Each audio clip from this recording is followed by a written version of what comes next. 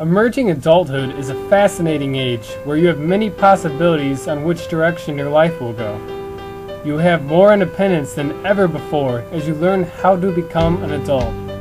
Although you may feel lost at times or on the outside at school, things will get better as you will be able to find your identity in life and become an independent young adult. As an emerging adult, you have a support system around you that can help you get through tough times or give you advice on the many questions that go along with this period. Your culture and the traditions in your family are part of your macro system. Your extended family and the media are part of your exosystem. Your microsystem may be one of your greatest tools for advice and support, as your family loves you and only wants the best for you. If you do not have siblings or close relationships with your parents, Teachers or friends are always available options to give you that boost you need to make it through each day with a smile on your face, especially students that are from lower income families in an urban setting. Puberty can be a tough time as you may lack the confidence in your body wishing you looked like somebody else. Even though you may look at your body and think I look awkward and gawky, or my legs are too small compared to my big head, don't worry. This is normal. It is due to asynchronicity in growth, which means that some body parts may grow faster than others, giving you that look, but it will all even out. You will end up looking like the fine emerging adult you are.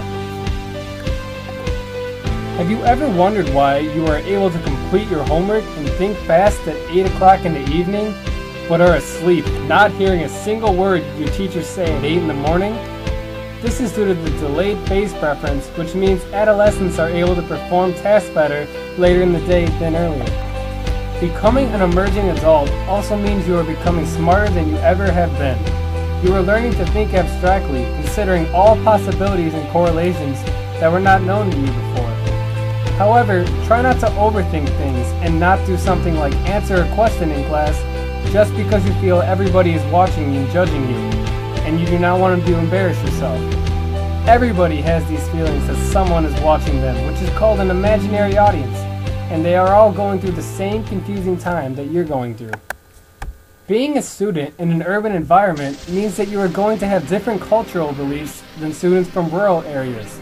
Living in a rural area may mean that families have to work together around the house and share their responsibilities, while living in an urban city may mean that you have more opportunities to explore your identity as an individual. As an urban student, you should take advantage of this opportunity by finding out where you fit in and forming your own identity. Find friends that share the same values as you and enjoy the same things you do. These friends can help make the transition from being a child to a young adult much smoother. Female students have more opportunities available to them today than ever before. They are able to have the same opportunities in the workplace as males, as well as get an education. However, the media still stresses the importance of being beautiful and appealing to boys, despite all the new opportunities available. As fun as dressing up, shopping, and looking good may be, make sure you focus on your studies and working hard today to create a better future tomorrow. Boys should also focus on academics and learn how to become an independent man. A high self-esteem is vital at this age. As an adolescent, you should always be nice to others so that in turn they will be nice to you.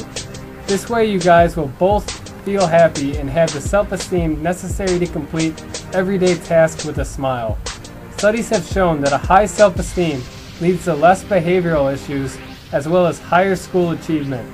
This will also help you find your identity at an earlier age. Throughout the country, especially in urban settings, the average age of marriage and childbirth has gone up. This means that families are having less kids than before. It is important as emerging adults that you develop a close relationship with the family you have. Strive to have a buddy relationship with your siblings that you can turn to or talk to anytime.